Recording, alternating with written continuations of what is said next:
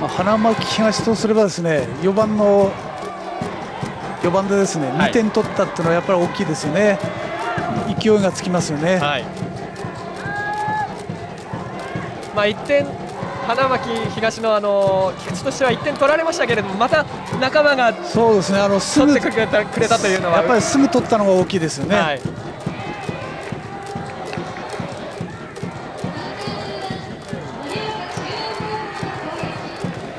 さあ盛岡中央高校3回裏の攻撃。この回ラストバッター宮崎です。この試合宮崎は8番から9番に打順1つ下がりました。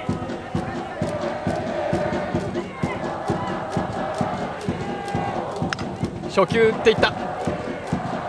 詰まっていますファール。宮崎は今大会13打数4安打1打点です。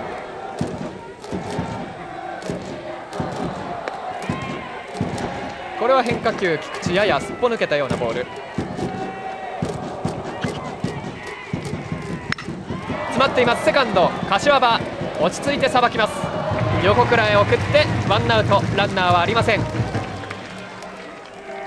まず菊池。3回裏の先頭バッターセカンドゴロに抑えました。やはりも花巻東の内野陣動きキビキビしてますよね。あの硬いですよね。はいさあ打順1番に帰ります。久保です。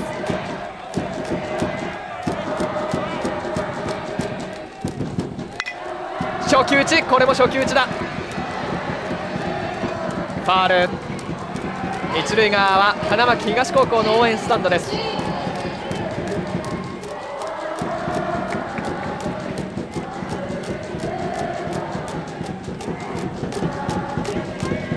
対1、3回の表花巻東は同点に追いつかれた直後1点突き放しました。こ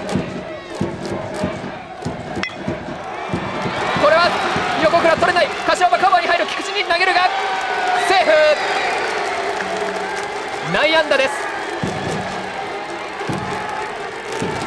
横倉の前でややイレギュラーしましたかね。どうでしたかね。あのー、当たりもですね良かったんですよね。ちょっとバウンドがハーフバンド気味になったんでちょっと難しい当たりでしたね、はい、これ前に落としてもらいたかったですね。あ後ろに行ってしまはい、ただ柏場もよく回り込んで抑えてましたね、はい、1点勝ち越された直後盛岡中央3回裏。これも初球から積極的に振っていきます。そうですね。もうあのストライク取りに来るボールをですね振ってきてますね今日も佐々木監督積極的なパッティングを盛岡中央の選手たち伝えています。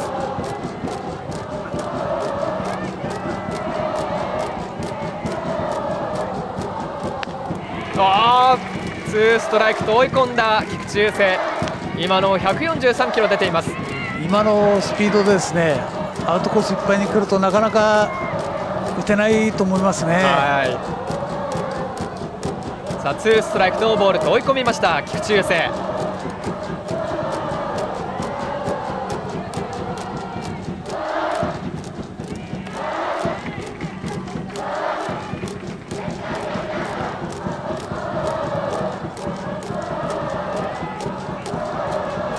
ここ菊池としてはまだあとボールで遊んできますかね。はい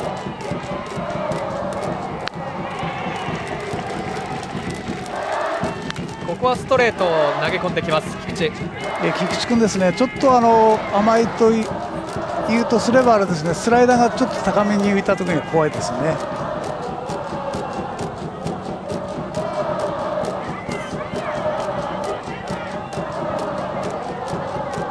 バッターは佐々木です。高めに浮いた。打った。ファール。グランド追いかける三塁が盛岡中央全公園のスタンドへとボールが入っていきました。今ランナー走走ってきましたね、ヒットエンドランでしたね。こういう作戦もですね必要だと思いますよ。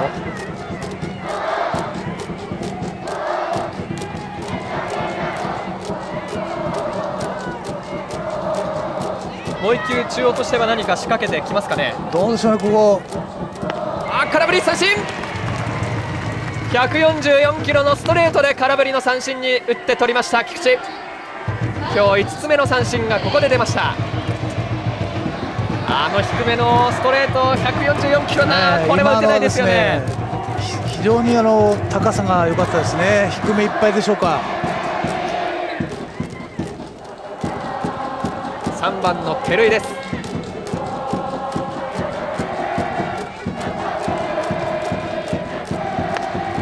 初球から照井も振っていきました。こ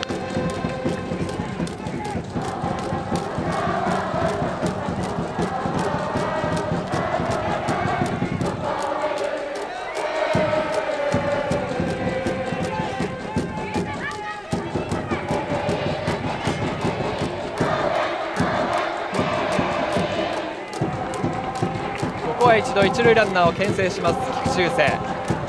横倉からまたボールを受け取ります。イン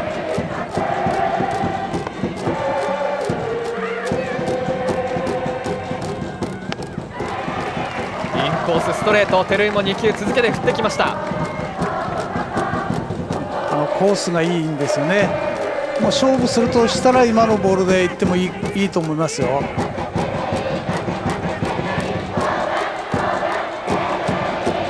追い込んだ菊池雄星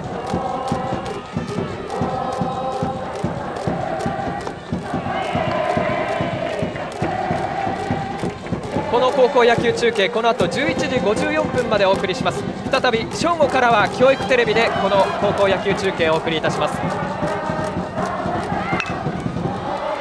ファール。今のも完全に球威に押されていますねバッティング。そうですね。今もエンドランかけてきましたけども